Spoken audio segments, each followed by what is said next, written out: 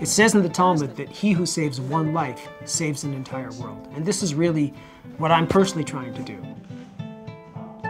There's 80 million people in Ethiopia, and there's a whole bunch of people, you know, thousands, if not millions, who need some sort of medical care. And I can't address all of this, but every time I help one kid and I straighten their back and straighten out their life and send them to school or treat somebody for cancer, I just feel great. And for me, this is saving a world which is going to grow up and create a new world. Mandelson? Daniel Mann?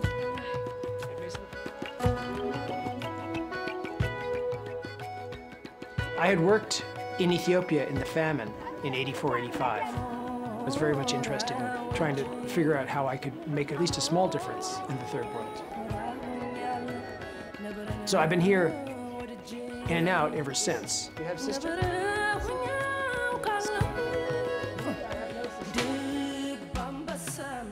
I think what I would tell young American doctors is to try to think about doing something a bit different. Follow your heart.